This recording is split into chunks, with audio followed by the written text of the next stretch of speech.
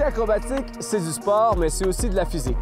Les athlètes s'élèvent jusqu'à 50 pieds dans les airs, effectuent de multiples pirouettes et rotations en quelques secondes avant d'atterrir sur leur ski dans une pente inclinée. Pour mieux le comprendre, j'ai fait appel à une experte, la médaille olympique et étudiante en aérospatiale, Marion Thénault.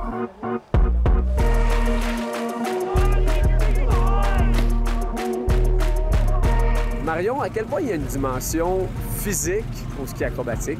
Je dirais qu'il y a une grande dimension physique, euh, autant au niveau euh, de la vitesse, de la conservation de notre énergie, de créer des vrais. Tout le monde, quand il, il me parle du ski acrobatique, il dit Ah, vous êtes fou, vous sautez tellement haut. Puis il pense que c'est du monde qui. euh, sont plus rock and roll, mais c'est vraiment plus des, des, des computer nerds que d'autres choses. On est vraiment plus calculé parce qu'il faut. Si c'est pas calculé, c'est dangereux. La première chose à calculer, c'est la vitesse à laquelle un athlète arrive sur le tremplin. De ce côté, pratiquement rien n'est laissé au hasard. Chaque site va avoir euh, des vitesses différentes parce que soit on, on va descendre plus longtemps avant d'arriver dans le saut ou la façon que le saut est fait, on a besoin de plus ou moins de vitesse.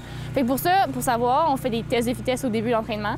On a une horloge qui dit OK, ça c'était 56 km à l'heure. Moi, je sais que sur ce site-là, ça nous prend 57.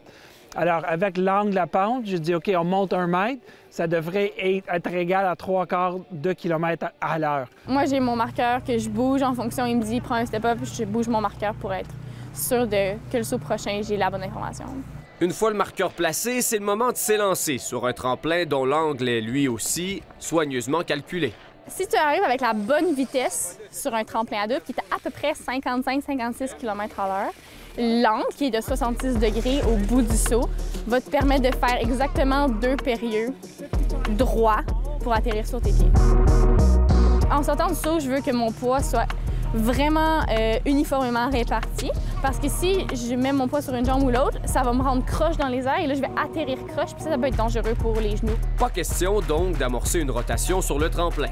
Ce n'est qu'une fois dans les airs que le travail commence. L'athlète sur le bout du saut, il crée une énergie impérieuse, en, en tête par-dessus pied comme ça.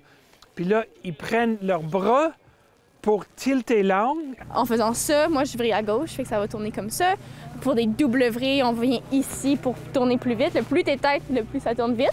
Les bras, c'est c'est des leviers pour tasser le corps, pour prendre l'énergie du périlleux puis le mettre dans le vrille et le contrôler. À travers tout ça, il y a des ajustements à faire dans les airs. On entend les entraîneurs crier des indications aux, euh, aux sauteurs. Qu'est-ce que vous leur indiquez? Les athlètes dans les airs, ils font 200, 300 décisions micro par seconde. S'il faut qu'ils accélèrent leur rotation pour mettre leurs pieds en premier, moi, je vais crier pull ou ramène tes pieds pour faire que tu deviens plus petit, ça va tourner plus vite. Ou stretch, allonge pour te mettre plus long parce que tu tournes trop vite et ça se peut que tu, tu tombes sur le dos. You're good. Work it a bit. Lui, il me donne des informations en fonction de ce qu'il voit.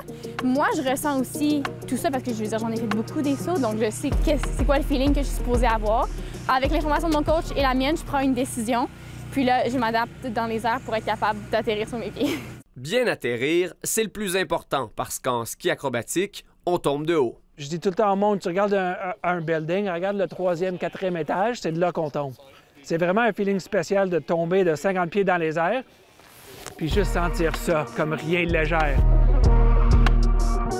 Car si toutes les étapes précédentes ont été bien réussies, l'atterrissage n'est qu'une formalité. C'est comme sauter du- d'une chaise de un pied, parce que la physique, c'est tellement à pic, ça absorbe toute l'énergie, puis tu continues. Ce qui devient difficile, c'est quand là, on n'arrive pas dans le bon angle. On est capable de rattraper des atterrissages quand on est un peu sur nos talons ou encore quand on est trop sur les orteils.